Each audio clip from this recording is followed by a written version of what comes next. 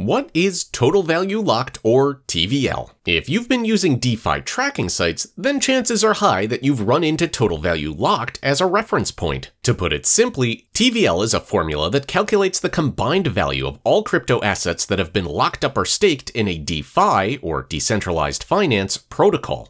TVL is frequently used to measure the overall health of the DeFi protocol. When a TVL rises, it usually implies a rise in liquidity, popularity, and usability, factors that contribute to the success of the protocol and typically results in higher yields for protocol users. This quantity is usually expressed in USD, while other protocols can express it in either ETH or BTC value. The total value locked in a DeFi protocol can be calculated by multiplying the total number of tokens staked on that protocol by the current price of each token. Of course, not all of these DeFi protocols are the same. In addition to different levels of TVL, the yields as well as the token price can vary dramatically. So, in order to know if a DeFi protocol is worth investing in, it's necessary to calculate the market cap TVL ratio. This is done by calculating three numbers the supply, the maximum supply, and the current price. To calculate the token's current market cap, multiply the circulating supply by the current price.